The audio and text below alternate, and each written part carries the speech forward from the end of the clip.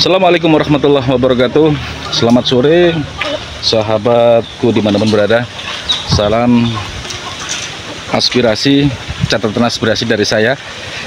Pada siang hari ini Tepatnya jam uh, 14.30 setengah tiga Saya berada di salah satu lahan Warga Tepatnya di Dusun Bulu Desa Babatan Pace. Pada siang hari ini Sore hari ini ya uh, saya melihat secara langsung lahan yang mana lahan ini ada sedikit uh, jang, kejanggalan. Ingin tahu lebih jelasnya? Saya di lapangan coba saya akan uh, menemui langsung warga yang ada di lokasi ya. Oke. di sini di lahan persawahan warga yang ada di Desa Bulu, Desa Babatan Pace ya karena lahan ini nanti akan dibuat uh, usaha. Dan usahanya informasinya masih simpang siur dibuat apa. Mungkin dari narasumber nanti bisa menyebutkan secara detail. Jadi terkait masalah yang dibuat usaha ini warga sendiri infonya belum uh, diberikan klarifikasi yang pasti uh, belum pernah diundang dalam rapat uh, terkait masalah lahan yang mau dibuat usaha.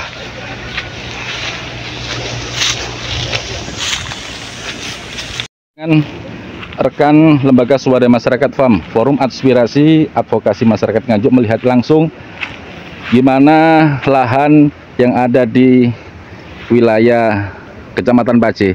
Ini adalah lahan seluas berapa hektar ini ya? Berapa hektar ini, Mas LSM? Wah, kurang tahu ya. Kurang tahu ya. Tapi untuk perencanaan katanya investornya dari gudang garam. Informasinya dari gudang garam, ya. Tapi lebih detailnya kita coba akan menemui warga yang benar-benar uh, terdampak, artinya yang punya lahan di sini.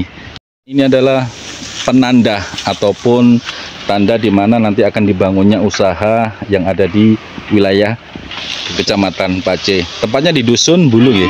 Dusun Bulu, Dusun Bulu, Desa Babatan. Desa Babatan RT RT 7 RW 2. RT 7 RW 2. Nanti ke, kita akan komunikasi kepada beliaunya menceritakan sejauh mana proses yang akan uh, dijadikan usaha nggak tahu usaha apa itu.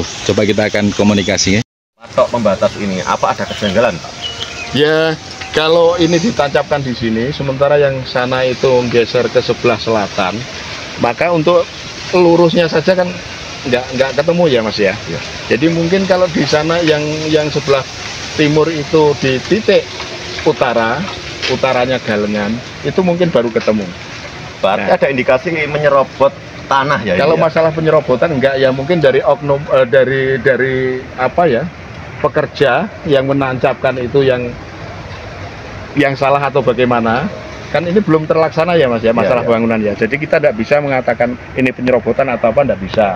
Ini masih bisa digeser ke samping kanan atau kiri masih bisa. Kalau pengukuran ini tahu Bapak ini dilakukan oleh pihak BPN atau dari saya tidak tahu investor? saya tidak tahu. Jadi karena saya tinggal di desa Patihan yang di sini kan anak saya ketika pembebasan lahan ini pun saya juga nggak dapat undangan nggak dapat pemberitahuan dari anak tahu-tahu saya datang ini sudah tertancap tanam apa eh, patok-patok ini sudah tertancap Berarti belum tahu ya Pak, pembatas ini dilakukan oleh pihak mana pihak mana ya? Belum tahu, Entah investor Iya. atau Iya. pengukuran resmi dari ya BPN. mungkin anak-anak kecil nancapkan di sini kan Iya, juga iya, bisa gitu iya. loh Bapak mungkin eh, tanah jenengan sebelah mana Pak? Yang Oh ini Pak ya. ini ini kalau orang Jawa bilang saigar kulen ya Gus ya Saya ikir pulang nggih. Saigar Kulen. Jadi yang sebagian sana itu sudah Ya, ini beliaunya menunjukkan letak Waalaikumsalam warahmatullahi wabarakatuh. paring asmo lengkapipun Hadi Bapak Waluyo, Bapak Hadi Waluyo. Bapak asli warga sini ya? asli warga sini. Pak, apa benar Pak ada informasi bahwa di daerah sini mau didirikan salah satu perusahaan atau perusahaan apa ya? Mungkin bisa dijelaskan Pak. Untuk ke kegunaannya perusahaan ataupun pergudangan saya sendiri tidak tahu karena saya tidak pernah menerima suatu undangan tentang eh, hadirnya investor tersebut.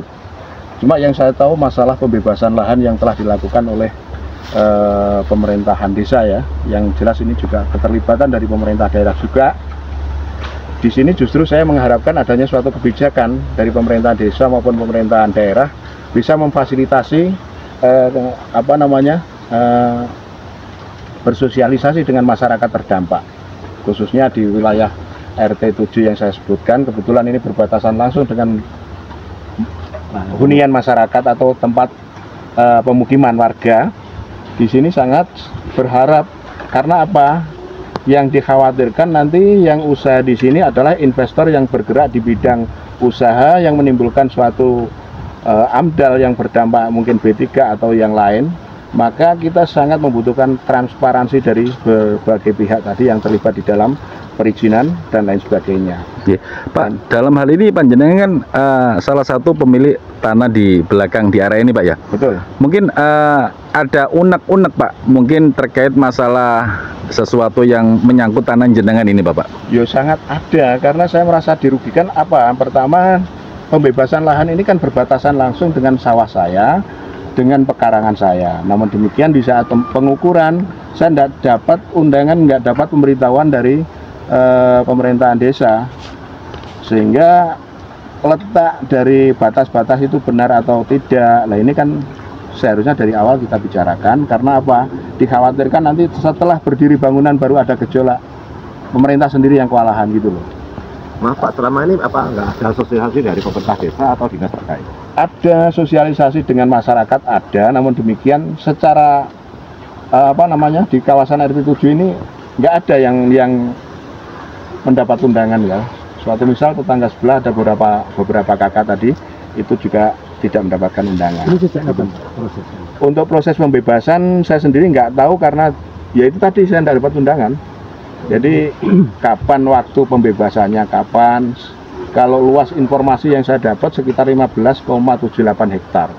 Nah dengan luasan itu apa betul dari pemerintah setempat itu tidak melanggar apa namanya perda yang telah dibuat, RT RW yang telah direncanakan. Kalaupun di situ ada pelanggaran di situ, konsekuensinya seperti apa? Ini lahannya aslinya lahan apa? Lahan. Nah, itu yang lebih tahu harusnya kan dinas dari uh, Tata ruang. tata ruang. kalau pemanfaatnya pemanfaatannya eh, yang yang sudah itu sebagai?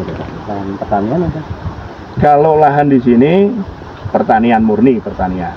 Kebetulan di kawasan sawah saya sendiri itu kalau musim rendeng kan seperti rawa. Hmm. Ya, memang ya statusnya rawa dulu. Nah ini termasuk bagian dari tuntutan kalaupun dibilang tuntutan, harapan kalaupun dibilang harapan, adanya kebijakan dari pemerintahan desa ataupun pemerintahan daerah agar segera dilakukan sosialisasi dengan warga yang paham tentang sawah ini, yang paham tentang aturan-aturan yang ada mungkin jangan mengundang orang-orang yang bodoh yang isinya cuma mengiyakan apa yang menjadi niat. Padahal untuk RT 7 lokasinya terdekat ya Pak dengan rencana pembangunan itu. ya. Ya sangat berdekatan loh mas. Ini kan pemukiman warga RT 7 RW 2 Dusun Bulu. Yang ke sana lagi itu kawasan desa Babatan saya nggak paham. Oh berarti malah ini aneh ya, Aneh. yang terdampak, yang terdekat malah nggak diundang. Iya. Lah makanya kan saya sendiri protesnya kan di situ gitu. Kalaupun mereka men- mengadakan pertemuan di desa, pertemuan dengan warga, sementara yang diundang mereka-mereka yang tidak paham tentang aturan, ya mungkin kan iya cuma mengiyakan saja apa yang menjadi hajat desa. Ini rencana langkah awal apa ini terkait ini? Ya saya masih mengharapkan adanya sosialisasi dari pemerintah setempat mas. Di sini mungkin pemerintah desa entah memanggil saya atau mengadakan pertemuan warga secara langsung, saya persilahkan. Nggak ada upaya pengaduan dinas? Untuk pengaduan dinas kita sudah melakukan istilahnya ngudoroso ke dinas sudah.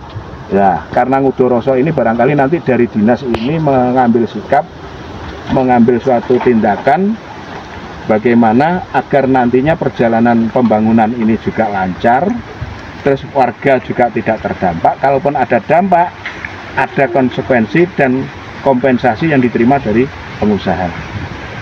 Jadi intinya seperti itu dan yang lebih tepat mungkin saya sampaikan kepada publik keberadaan investor sampai di desa ini itu tujuan pemerintah daerah ataupun pemerintahan desa ingin mensejahterakan masyarakat atau ingin mensengsarakan masyarakat.